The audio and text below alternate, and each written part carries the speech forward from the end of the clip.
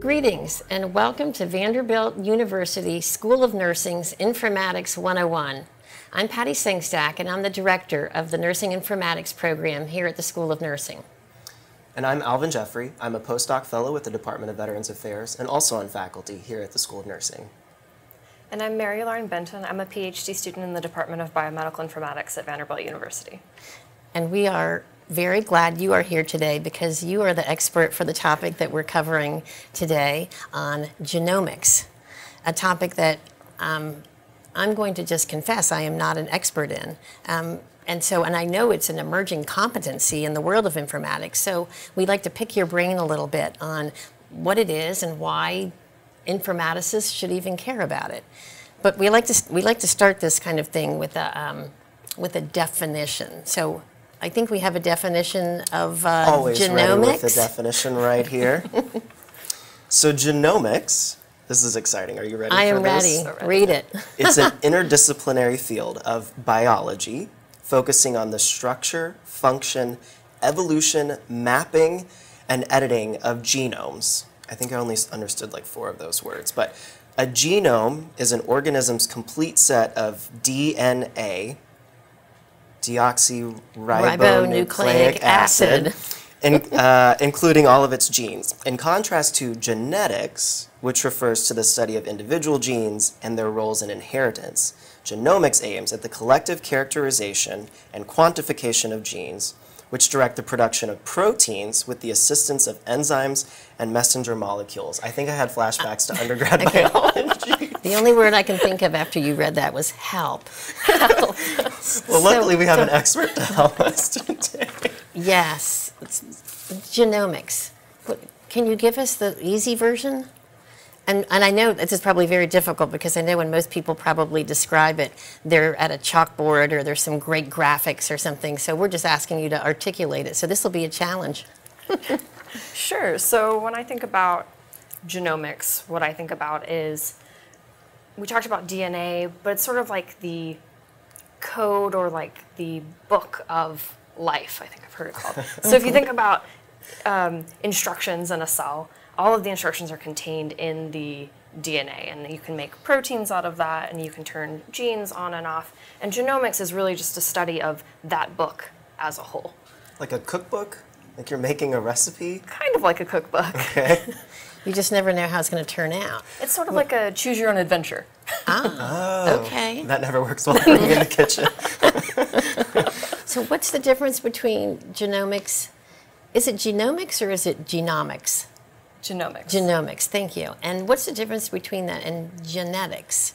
Can you help us understand that a little bit Sure. more? So when we talk about genetics, we're really talking about the study of genes, something that usually codes for a protein, and you're really thinking about one gene at a time and kind of looking at how those are inherited or passed down through families. It's a real specific. Real specific. Okay. When we talk about genomics, we're talking about all of the DNA, the whole cookbook, if you will, as a mm-hmm. whole, and we're studying it as one big entity rather than one piece at a time. Ah, okay, okay.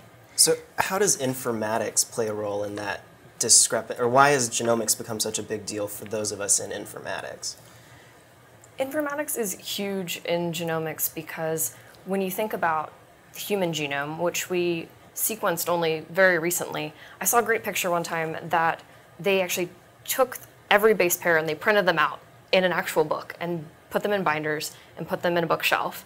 And it covered floor to ceiling an entire bookshelf, just one person's genome. Oh, So when you think about trying to read and understand something like that, that's so much information that using tools in informatics or computer science will help us understand something that we can't just look at um, and understand.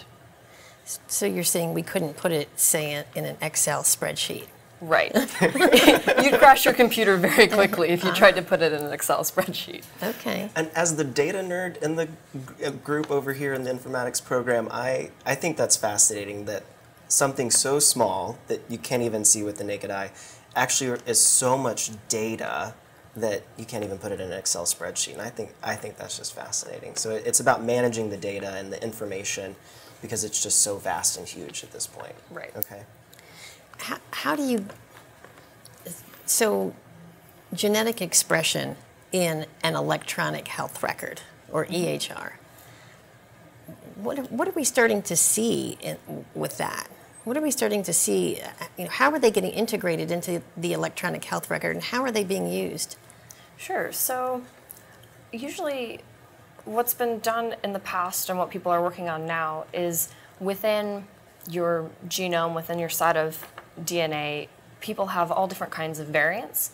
And we're really interested in how these small changes in the DNA, maybe one single base pair, one single letter um, of DNA that's changed, how those things associate with diseases or with changes in gene expression. So we're really, we can test for specific changes in a patient genome, and that might make you, um, might be associated with a higher risk for, say, breast cancer or a higher risk for mm-hmm. heart disease. And those are the kinds of things that are tested for and end up in a medical record.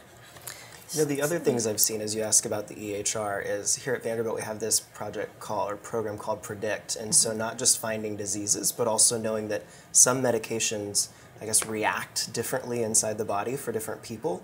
And so rather than the previous way of just guessing, oh, we're going to put you on this blood thinning medication that could cause you to bleed spontaneously and we'll just hope that we got the right dose, we can actually be a little more you know, preventative and saying, oh, you have a particular genetic difference that could mm-hmm. say we need a different dose for you. Um, and we can do that for a number of medications, and I think that's a big area of research. So definitely. Yeah. So, for example, if I were if I were entering an order for a blood thinner of some kind, I might be presented with some kind of uh, maybe an alert or a reminder to check the genetic expression of this patient for that particular um, gene. Absolutely. And then if they express it a certain way, we might want to alter the dose. Mm-hmm. Is that a straightforward way of understanding yeah. that? Right. And if you've had it done once, at least in certain programs, you know, you may only get sequenced once, and so all of your variants are stored in the electronic health record. So maybe even though you order a blood thinner this time and you check the, the, the see if the patient has any differences in a future medication that you um, are also ordering, since you already have that information on file in the electronic, it can go ahead and tell you, actually, we've previously done a study, this patient also has this difference, and so you could dose it differently or maybe even stay away from a medication altogether. Have either one of you ever done 23andMe or Ancestry.com?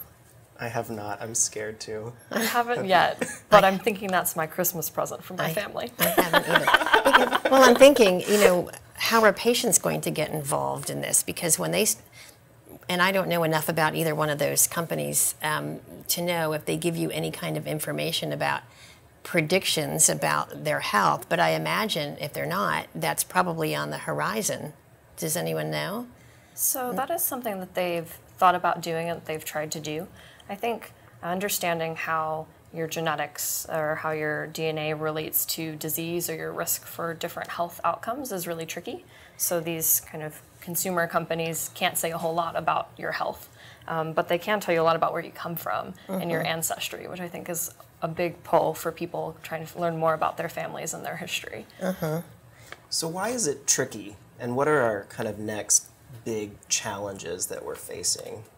Sure. It's tricky, one, because there's so much information there and encoded in this DNA, and what it does and how, um, how it actually works is something we don't really understand. We understand specific genes and how those can code for proteins. We understand that some variants um, are cause different diseases, but even until recently, we thought that a very large proportion of the genome was junk DNA and we didn't think it did anything important. And in the last probably five to 10 years, we've realized no, there's a lot more mm. happening. There's a lot of regulation and changes in the way that the genes are turned on and off is almost as important, if not more important, than what the genes do themselves. So there's just a lot of open research in this area about how your genetics actually relate to disease. I imagine that the this is it's it's not probably not the final frontier, but it's one of those frontiers that has so much ahead of it, so much to learn. And I know that Vanderbilt has a Center for Precision Medicine. Mm-hmm. Are you involved in that in any way? I'm actually not involved in that um, specifically, mm-hmm. but I think that the way genetics can play into precision Not yet, medicine maybe. is really interesting. yeah, not yet. Well, I know that, that the, the project they're doing called All of, All of Us, I believe. Do I have that right? All of Us? They are asking for volunteers. They want to get a million volunteers to uh, answer, you know, a lot of questions about their health and their habits and um, I don't know, maybe they take a blood sample as well. Uh, and then when they get a million, I, and I think they're already starting this, they're, they're looking at all kinds of different research questions to, to ask of the data. And I think it's going to be amazing to follow that. So I think, you know, from an informaticist perspective, I think that following the work that's happening now is something that's going to be really important. You know, so so taking this to, you know, you know, this the intent of these presentations that we do are about, you know, nurse and nurse informaticists and what we should be looking for, what we should be thinking about. So I think following what's happening through um, the Precision Medicine Initiative, um, as well as Vanderbilt's uh, Center for Precision Medicine, will be important. Are there other things that, as a uh, nurse informaticist, are there other things that they should be thinking about or looking up, or resources or things you can think that might be helpful for them? Like if you could wave a magic wand to Yeah. put you on the spot and Okay. say, I wish, because the work you do is super complex to those of us that are lay people to genomics, what would you hope that maybe all clinicians, nurses, physicians, whatever, might learn in school or um, what would be that kind of base level of, man, I just wish they would know these couple of things. That would be really helpful in helping my research work actually influence practice.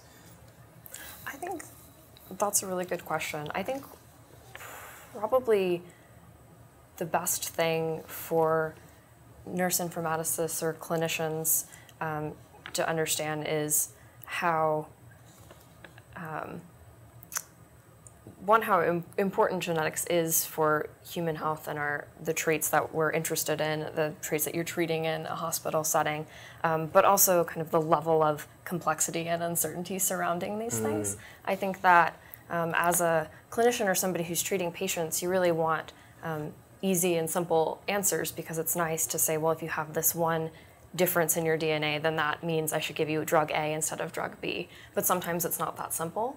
Um, and so understanding that there is a range of, of complexity there and that drug A might be a little bit better than drug B in some situations and not all. Just using the genetics as a puzzle piece that fits into their larger intuition, I think would be the biggest takeaway. I love it. That actually reminds me of an example I forgot that I had. Um, one of my friends is a he's a postdoc fellow in bioethics, and he studies how we communicate genetic results to patients. And he studies variants of unknown significance. So there's things that we know that is a difference, like your your it's a genetic variant that, that is different from most of the population, but we don't know what it means. We just know that it's a little different. And so patients have actually had, for example, organs removed. Uh, they got a surgeon to agree to remove an organ because it was related somewhat to potential disease. And it was later then downgraded to not actually be at risk for cancer or harm.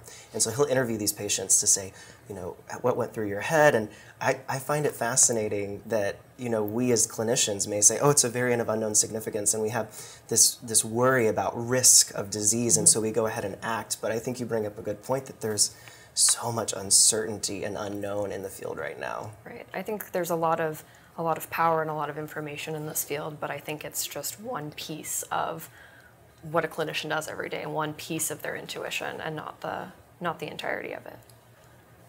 Yeah, I think there's a. I think there's still a lot to learn. I think that you know, I think that as clinicians in, in the world of informatics, I think we need to understand probably almost like going. I like to go back to basics sometimes, you know, and just understanding the base pairs and how they work and how DNA turns into RNA, turns into a protein. I feel like you know we need to understand that you know better, make sure we have a really good understanding of that, and then how the representation of variants and genetic expression can be in a electronic health record. I think that's something that it's a competency that's emerging, and I think that we need to just kind of keep paying attention to that and, and make sure that we're, you know, on that on that cutting edge and, and keep up with that information. And I think one last thing as far as this EHR interaction where nurse informaticists can help, I think one reason we have uncertainty is so we can measure the variance or the structure of an individual's DNA.